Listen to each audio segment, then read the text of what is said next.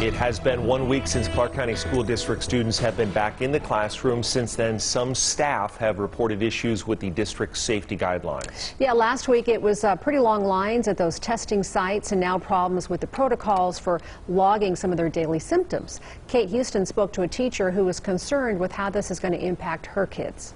I don't know how my school is surviving today with many of us being gone. Amy is one of more than 40,000 Clark County School District staff members who must use the Emocha app to log daily symptoms before going to campus. I received a yellow badge this morning.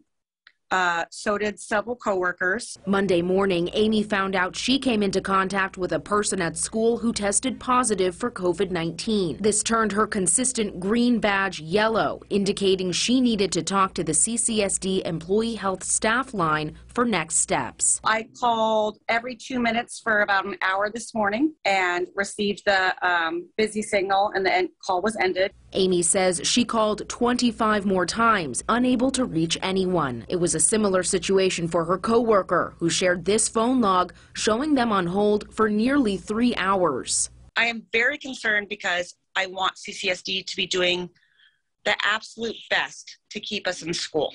In addition to excessive call times, Amy says some coworkers who were exposed received a gray badge, which normally means they didn't log their daily symptoms. I don't think that's keeping students safe. I question the ability of Emocha to screen people efficiently. Now Amy is calling on the district to make this process more efficient to keep campus safe and open. If we want to keep schools open, which is what's really best for kids, that we should be a little more wary. Kate Houston, 8 News Now. Now, we did reach out to the Clark County School District for more information on the employee health hotline and any issues they may be having. Right now, the district asking for patience from all of their staff members.